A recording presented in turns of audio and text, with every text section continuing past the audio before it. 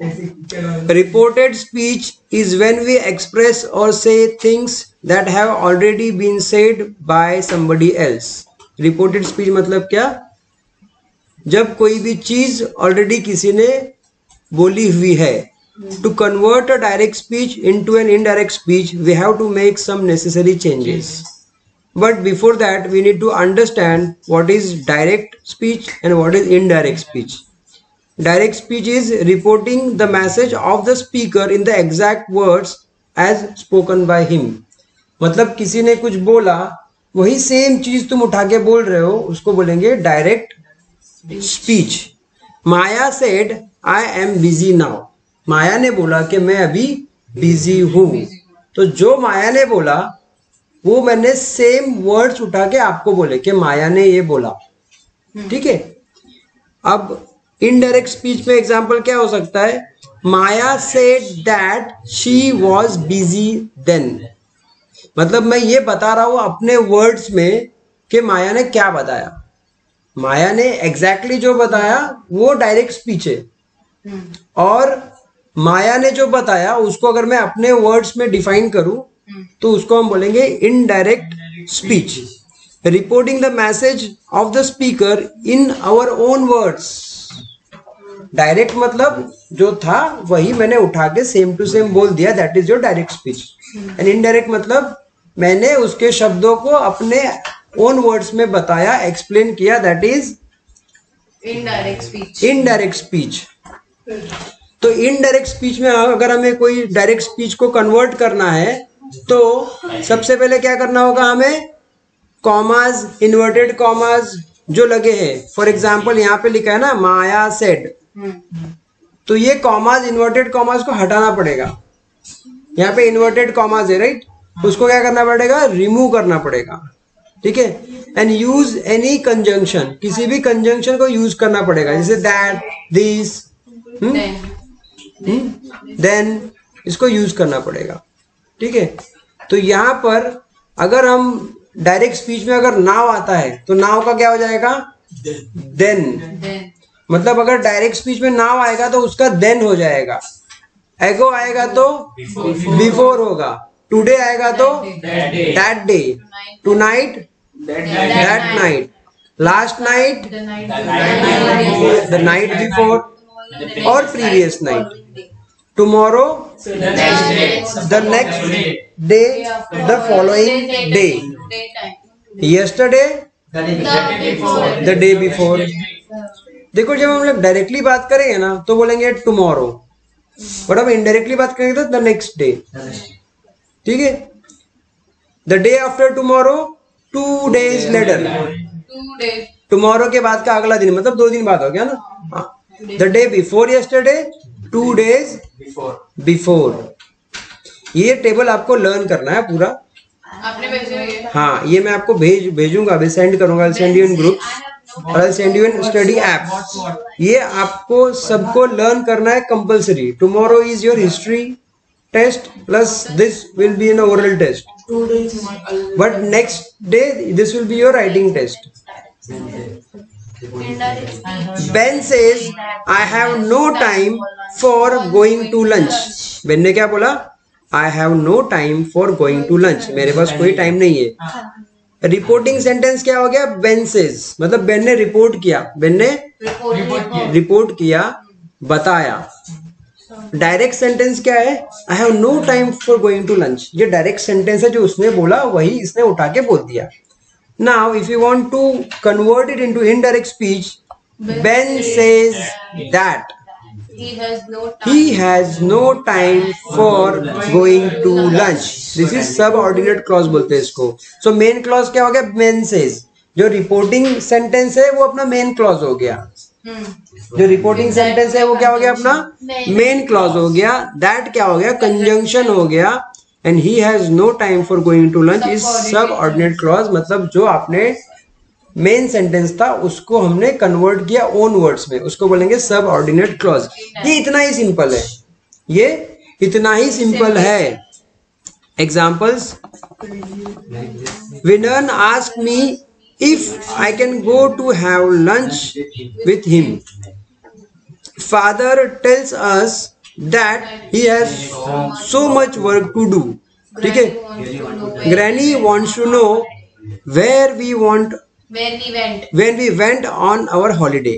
ठीक है? तो ये उसके एग्जाम्पल्स है. Main clause conjunction subordinate Sanskriti these sentences are direct और इनडायरेक्ट अरे बोल। डायरेक्ट अच्छा लगा। डायरेक्ट बोलो ना क्या फ़र्क चुप पड़ता है? नहीं बी इट रॉन्ग और right doesn't matter but your involvement is very necessary Sanskriti से पूछे। Direct direct indirect indirect direct indirect see अगर ये डायरेक्ट होता ना तो ये इन्वर्टेड कॉमर्स में भी होता सबसे पहले। हाँ। ठीक है? सेकेंड चीज़ इसमें कंजंक्शन आया। इफ़ दैट वेर मतलब इनडायरेक्ट हो गया। कंजंक्शन आया ना? इसमें सीधा आता ना father says that he told that ऐसे आता ना इसके अंदर। ओके तो ये इनडायरेक्ट सेंटेंसेस के एग्जांपल्स हैं। When changing direct speech into indirect speech it is important to follow this. Below table needs to be followed. जैसे कि डायरेक्ट स्पीच में आएगा say he say that he says that he said he tell he tells ये सब आएगा। तो इसका क्या हो जाएगा कंजंक्शन में? दैट इसका क्या हो जाएगा? दैट हो जाएगा। ये स्टेटमेंट के बारे में। और अगर कोई क्वेश्चन है आस्क आस्क आस्क्ड तो उसका इफ़ हो जाएगा। तो पहला सेंटेंस जो हमारा था, पहला जो सेंटेंस था ना टुमारो डे आफ्टर हो जाएगा नेक्स्ट डे हो जाएगा। तो वो टेबल और ये टेबल दोनों सिंपल है एकदम। इजी टू रिमेम्बर है। ये दोनों टेबल्स का मैं आपका टेस्ट लूँगा ओरल ठीक है? देन ऑर्डर रिक्वेस्ट प्रोहिबिशंस मतलब टेल टेल्स टोल्ड इसमें क्या होता है? ऑर्डर भी आ सकता है रिक्वेस्ट भी आ सकता है। तो उसका हो जाएगा to plus infinitive and not to plus infinitive try changing the following direct speech into indirect speech Peter says I like English इसका होगा Peter says that very good she says to me I am a Student. She tells me that she, she is, is a student. Bob says to us, I like your car. Bob says he likes our car. He likes our car. They say we have lost the key. They say that they have lost the key. Anne says, I don't like to cook. Anne says that she doesn't like to cook. He says to us, I will help you. He tells us He tells us that he will help us. Jack says, My friend is, friend is sick. Jack, is sick. Jack says that his friend is sick. Sick, matlab bimar. Here are more examples that you need to practice. देखो यहाँ पर like तो है तो liked हो जाएगा।